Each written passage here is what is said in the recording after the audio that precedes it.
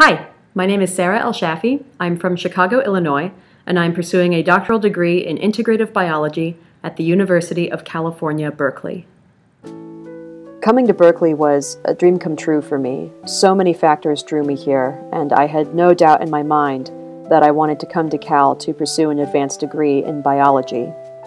The academic community here is incredible, as are the resources available, even within my own department building, we have multiple world-class museum collections available to graduate students.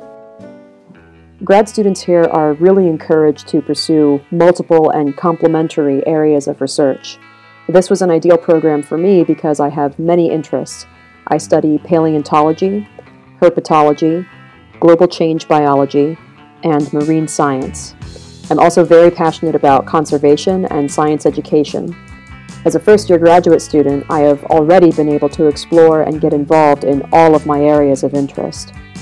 My goal is to find a way to integrate my different research paths into one dynamic dissertation project.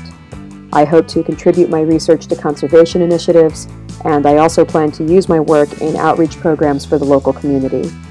My graduate training at Berkeley will give me a versatile skill set that will help me to pursue whatever career I choose.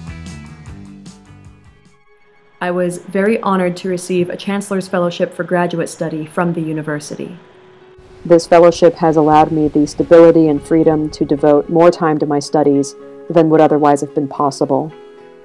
Studying under a university fellowship also gives me positive pressure to perform well, to use my time efficiently, to make most of my graduate experience here, and especially to give back to the university community. So thank you so much for this fellowship and for the opportunity to share my experience with you.